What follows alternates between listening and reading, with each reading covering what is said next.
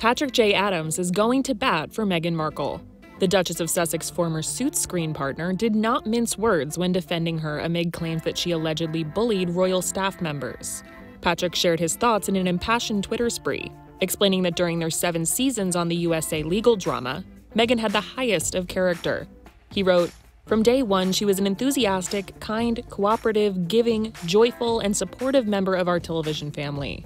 She remained that person and colleague as fame, prestige, and power accrued. She has always been a powerful woman with a deep sense of morality and a fierce work ethic, and has never been afraid to speak up, be heard, and defend herself and those she holds dear.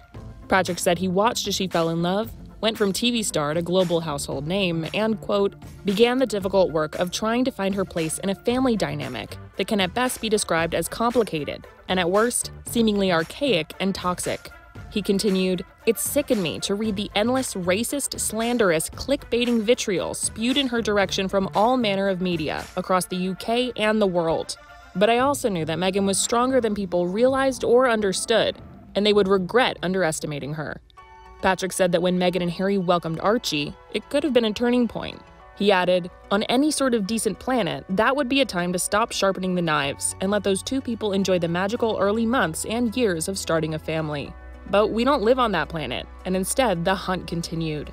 He then turned his attention to the royals and their alleged role in the claims, saying, It's obscene that the royal family, whose newest member is currently growing inside of her, is promoting and amplifying accusations of bullying against a woman who herself was basically forced to flee the UK in order to protect her family and her own mental health.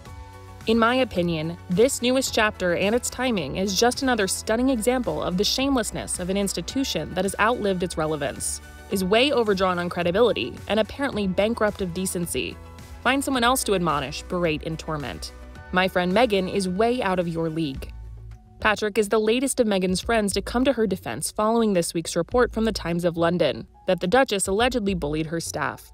Buckingham Palace has since announced that they are launching an investigation into the claims.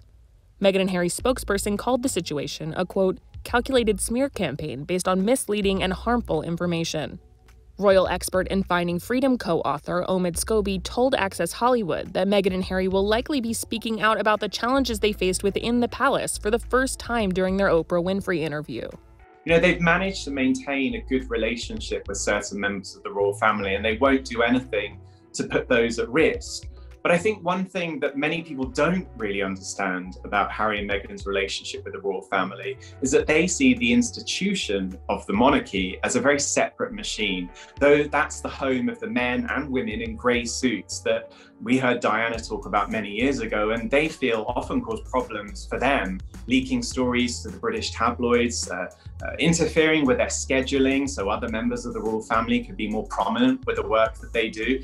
These are some of the behind the scenes details that I think we'll hear from the couple for the very first time.